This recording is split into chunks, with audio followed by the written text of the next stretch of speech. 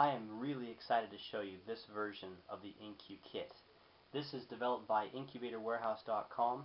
It has 225 watts of power and it installs extremely easy and the coolest part about this little InQ kit is it comes with the exclusive incubatorwarehouse.com digital electronic thermostat specially designed for eggs or incubating anything that needs, needs very fine temperature resolution. I'm going to show you how easy it is to install this in your cabinet incubator and that's what it's designed for is a larger incubator not designed for a tabletop type application. This goes well in a cabinet style or cabinet size incubator. That's what it's designed for. I'm going to show you how to do this in a just a piece of wood which will demonstrate the ceiling or the wall of your cabinet incubator. I'll use this piece of wood to demonstrate that. First of all, you simply need to drill a hole, the, the, the appropriate size for the screw, the mounting screw in the InQ kit. Another hole offset to allow the wires to go through from the inside of your incubator to the outside of your incubator. I'll show you how this fits together. From the inside of the incubator, thread these color-coded quick connects through that larger hole.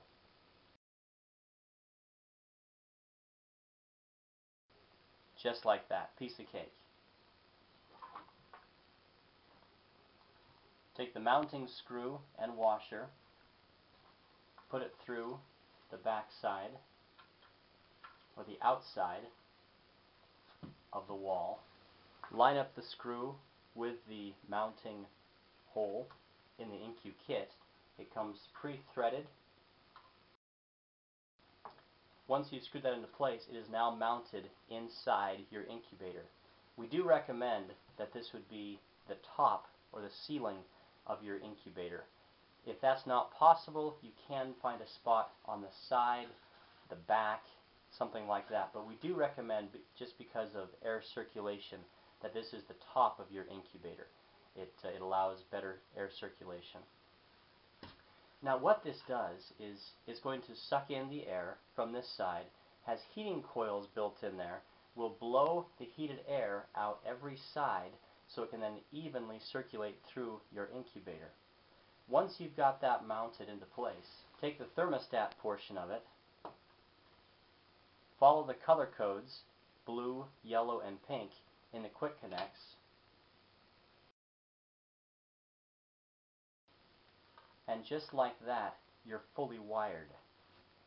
Now you will, based on where you're going to mount the thermostat itself in your incubator, have another hole that will allow the remote probe to slide through into the incubator. And you want this probe to be as close to the very center of your incubator as possible so it gets the best reading of the, of the center of your incubator. Then you can mount the thermostat anywhere on the side, on the top of your incubator, as long as it's within the, the length of that cord. Let me show you how easy this thermostat is to operate. This is slick. Plug it in. The InQ kit immediately turns on. Warm air coming out already. You can see the outside temperature of the probe right now, 76.4 degrees. This it comes preset to incubator temperature, 99.5 degrees. Preset piece of cake. If you do have to change it, it's really easy to change. Simply push that button. It starts flashing the preset. You can go down by 0.1 degrees, or you can hold it and go down by full, full degrees. If you wanted to use this to, to incubate something else besides eggs that require a different temperature, no problem. Piece of cake to do. Let's go back up to the 99.5. There we go. It'll flash for a few seconds. As soon as it stops flashing, it's now set, ready to go.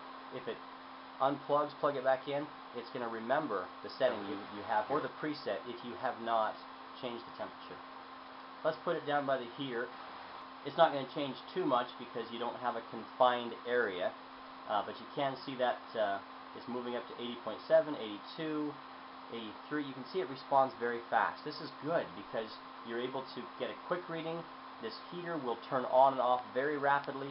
The heater itself, because of the way the fan is, is situated, it will respond, it will heat up and cool down rapidly, which can which allows it to adjust to the temperature in your incubator fast. Slick little device. Unplug it. The thing turns off. When you plug it back in, the temperature's set point will go back to whatever you have it set at, or the preset if you have not changed it. And that is the 225 watt version of the IncuKit by incubatorwarehouse.com.